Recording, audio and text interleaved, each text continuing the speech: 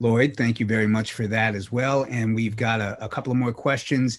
Uh, up next, we have uh, Renee uh, Locher, Locher, forgive me for butchering your name, but thank you for unmuting. Appreciate it, Renee. Go ahead. Hi there, it's Locker. Thank you. Um, I'm just wondering, I know this goes back to the device question, but I'm wondering if you um, know anything about the Qi Shield or the Qi Home. It's QI devices, and they're supposed to shield from um, EMFs. I don't know if you have any experience with those. Okay, so I do actually. oh, great. Um, so there are many uh, of these devices on the market. And uh, again, so let's just be clear. Uh, we do the OM, we do the under, we understanding what we're dealing with. We measure it. We get ourselves a meter at some point so we can measure it and we mitigate as well as best we can. And then when we've done all that, then we look at devices like this. And uh, so the chi or Key or, you know, however you want to call it, the Synergy uh, brand, I have actually explored these and I've, I've interviewed um, Paul Barrett Tiero, who is the CEO of uh, Synergy. And the reason I've interviewed him is because they've got some science behind it. They've actually spent quite a lot of money on the science. And what also makes this technology different is that um, their studies show that there is a measurable reduction in uh, field strength uh, from uh, from introducing these devices into the home. This is, as far as I'm aware, this is the only device which you can actually measure the reduction like that. Uh, because most of them, it's like you buy it and then you believe it and it harmonizes, and but you can't actually see it for yourself. And here, well, if you had a lab- laboratory, you would be able to see it for yourself. But I mean, even with a meter, whatever you you know, you wouldn't be able to see that.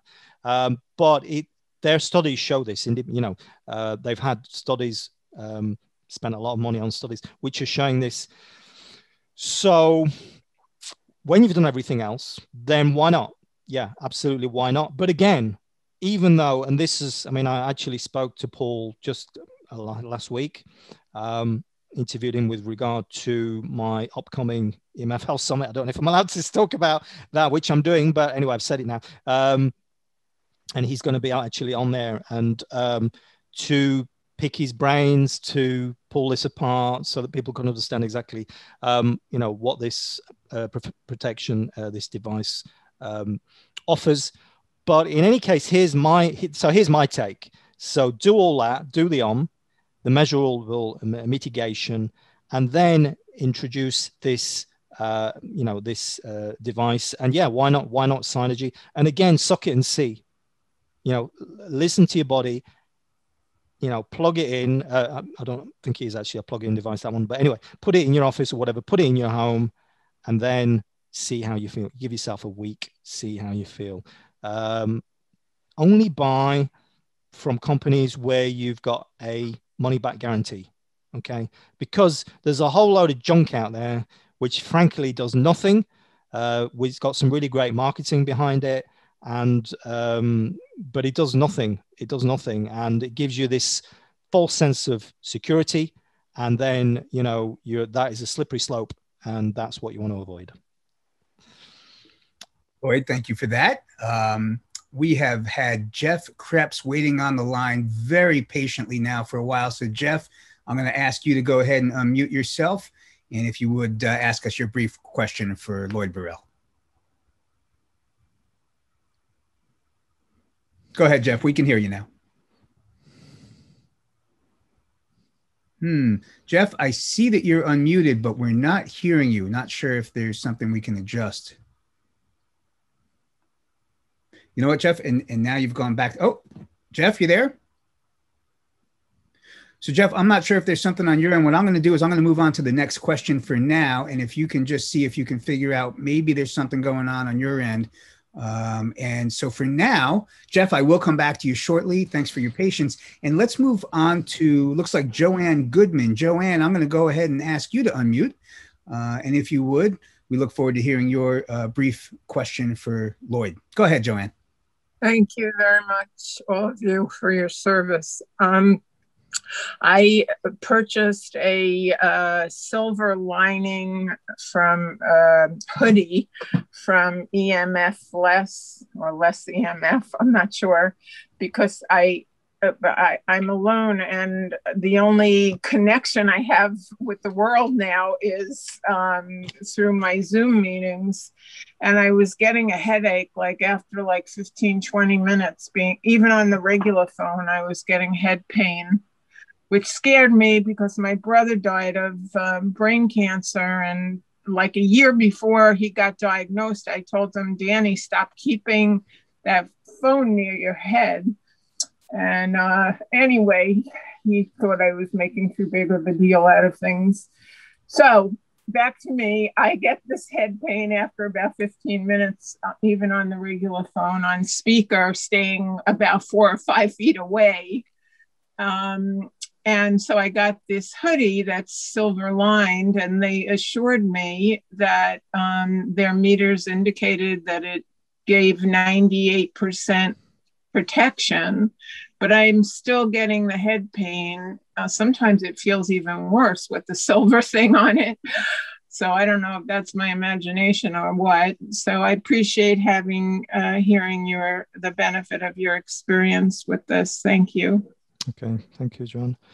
Um, so um, I don't actually recommend shielded clothing particularly um, unless it's full body.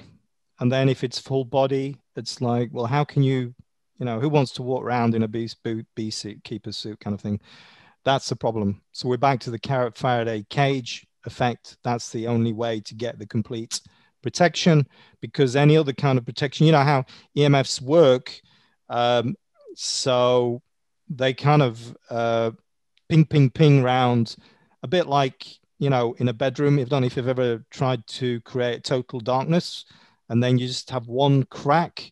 You know, you put, you've got your blinds and your curtains and everything in one crack, and that one crack, it just like creates a bit of light all around the room because it's that's what the light does. Well, that's kind of what EMFs do, radio frequencies in any case. That's the problem. So wearing a cap or wearing any kind of um, shielded uh, clothing has its limitations unless it's full body, and that's the problem with all of that. Um, and so you you do have to listen to your body, and it is actually rather difficult to listen to your body sometimes um, to get the clear message on whether something is beneficial or not beneficial. Um, but yeah, so I I would be if if you're getting a reaction which is a, a, not a good reaction to this, then I would be avoiding using those kind of uh, you know this kind of shielded clothing, and instead what I would be looking at is um, yeah, he's like using the the speakerphone. Is like uh, making distance your friend. He's putting distance between you and the device, and uh, you know all these other ways that we can reduce our exposure.